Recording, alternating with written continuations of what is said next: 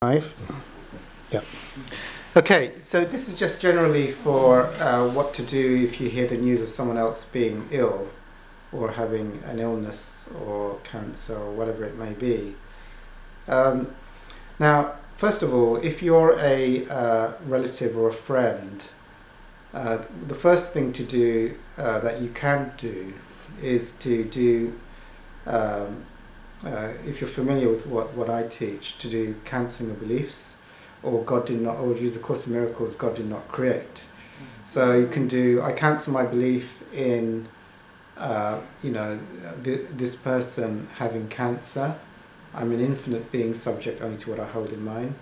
I cancel my belief in this person having cancer, or God did not create cancer in this person and so it is not real. God did not create cancer. So you can do that that's what I would do if if the person is not open to communication. They just want to be left alone. Then I would be doing that. Either cancelling beliefs or God did not create it, so it's not real. Um, and uh, so those, you know, my own experience. I remember my mother having oedema, and I did. God did not create oedema in my mother, so it's not real. I, I probably did the cancelling beliefs and you know, uh, the same day my mother said the swelling was going down. Within two or three days, it had gone. And I knew that was just a mystical miracle of just me cancelling it, and then it suddenly receding. And um, so it can be very, very powerful.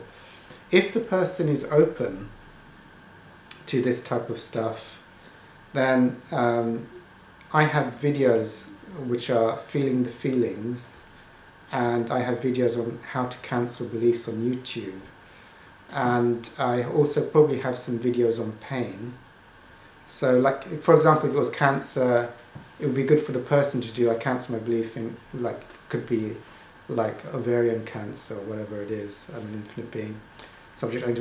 Now, with medication, you take the medication, like, let's say they're taking chemotherapy I cancel my belief in the adverse side effects of chemotherapy. I'm an infinite being subject, su- subject only to it.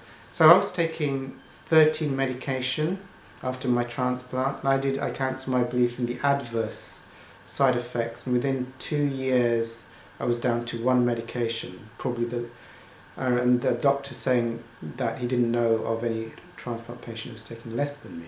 That was just so I took the medication and just said I cancelled my belief in adverse in, the bad side effects, and then I didn't need them after a while.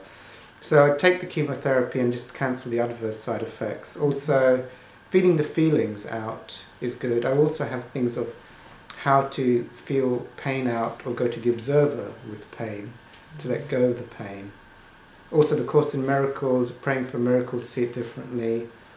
Um, uh, instead of instead of cancer, I could see peace. Instead of pain, I could see peace instead of death, I could see peace, or I cancel my belief in death, I cancel my belief in mortality, I cancel my belief in illness or suffering. Mm.